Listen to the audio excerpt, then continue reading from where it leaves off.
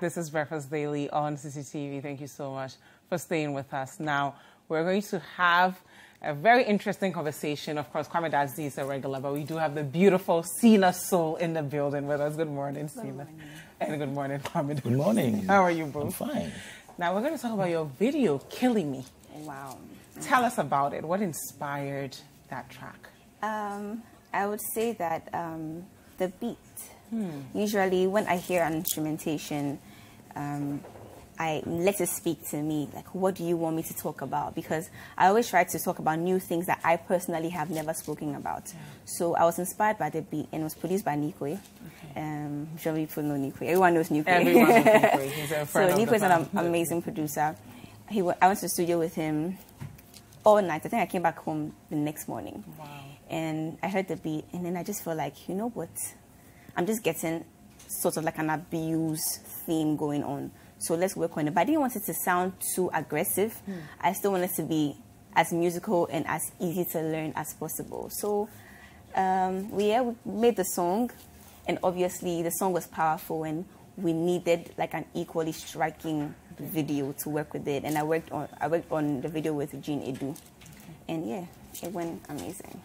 What what went into the structuring of the video? How do you video. ensure that um, you tackle the problem without it being too triggering for people who have experienced it? So I think I'll give all the credit to Gene because personally I told him, Gene, this is the song. He doesn't really understand God too much. So I explained it to him that, okay, it's about domestic violence, about abuse, about a toxic relationship. So I need a video that represented that, but it should be as cinematic and as interesting as possible. And he drafted the mood board and I was blown away honestly, because I don't know how. Because honestly, I'm sure you watched the video, the whole twist. No one saw that coming. That's the same way when I read the mood board and, and I got to the end. I'm like, what? what you know. So, props to Gene. Like it was, it was him. It was him all along. Kwame Dadzie.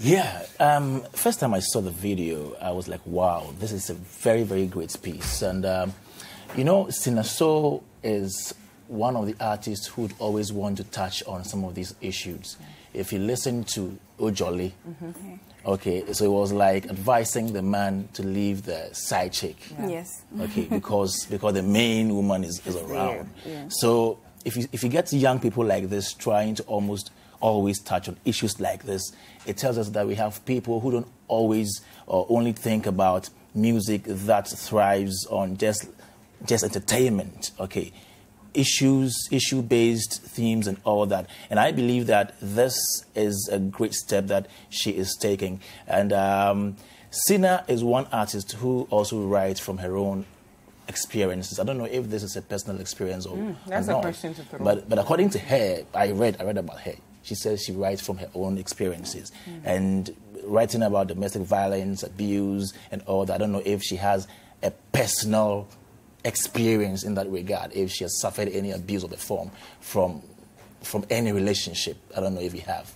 Um, I would say maybe emotional abuse, and which I think is highlighted in the video as well. Um, maybe not too violent, but I think emotional abuse is sort, sort yeah. of where um, the violence starts from. Because it starts from emotional abuse, insult here and there, then it just transcends to something else. So I think maybe I would say that yes, emotionally, I've been abused and drained in my life before. And, and how should we um, empathize with women and men who are going through this? Like you said, it starts with a person breaking you emotionally. Breaking so when you hear people saying, "Why is she still there? If she has a problem with it," you know, how do exactly. we deal with that? That's what people always say.